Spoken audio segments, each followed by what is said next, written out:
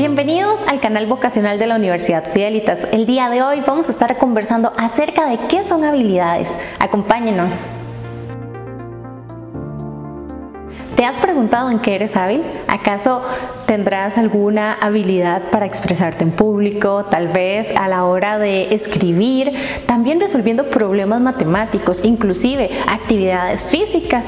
Estos son algunos ejemplos claros de qué son habilidades. Sin embargo, ¿qué es una habilidad?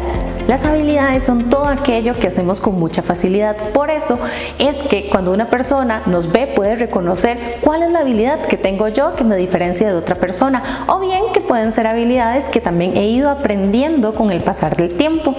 Habilidad es la capacidad que tiene una persona para desarrollar ciertas actividades o tareas con mucha facilidad. Son aquellas actividades que definitivamente no se le dificultan hacer porque la persona tiene la agilidad para desarrollarla.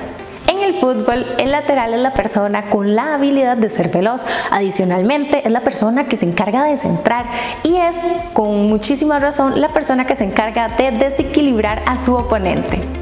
En los videojuegos, el gamer es la persona que tiene la habilidad motriz para utilizar los controles. Adicionalmente, tiene que tener muchísima concentración para poder ver lo que está sucediendo a su alrededor y en su entorno del videojuego. Un influencer debe tener la habilidad de comunicar de forma oral y también escrita. Adicionalmente es una persona que transmite su marca personal y que permite a otras personas que se identifiquen con lo que él o ella transmite. Cuando hablamos de tipos de habilidades vamos a hablar de tres tipos de habilidades muy específicas. Número uno, Habilidades cognitivas. Las habilidades cognitivas siempre vamos a vincularlas con lo que son nuestros procesos mentales, todo aquello que tenga que ver con nuestra memoria, con la rapidez del pensamiento, inclusive con la deducción lógica.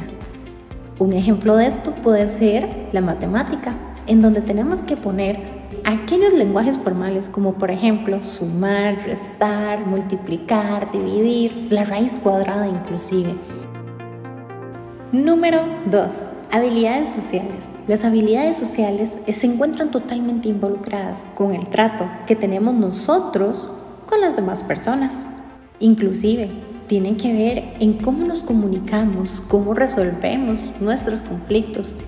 Un ejemplo de habilidad social podría ser la empatía, comprender la situación que está viviendo la otra persona y poder ser solidarios con la situación que está teniendo la otra persona. Número 3. Habilidades físicas. Las habilidades físicas siempre van a estar vinculadas a lo que es el manejo y la coordinación del cuerpo. Unos ejemplos de habilidades físicas pueden ser los deportes, el baile, la acrobacia o cualquier actividad en donde tengan que requerir la coordinación del cuerpo y sus extremidades. Es importante saber que las habilidades pueden ser innatas o también pueden ser desarrolladas durante el proceso. Adicionalmente, cuando nosotros nos identificamos con una habilidad más que con otra, es probable que la tengamos más desarrollada que la que decimos que no tenemos. Sin embargo, es importante saber que todas las personas podemos desarrollar habilidades y por supuesto cada una va a ser generada o aprendida de diferente forma. Lo importante de esto es descubrir en qué soy hábil, cuál es mi habilidad y qué es lo que me destaca. Pero reconocer nuestras habilidades muchas veces es difícil. Entonces te invitamos a que le preguntes a una persona, tu amigo, tu amiga, profesor, familiar, ¿Cuáles son tres habilidades que yo tengo? Esa pregunta te ayudará a ti a conocer y reconocer cuáles son algunas de las habilidades que tienes.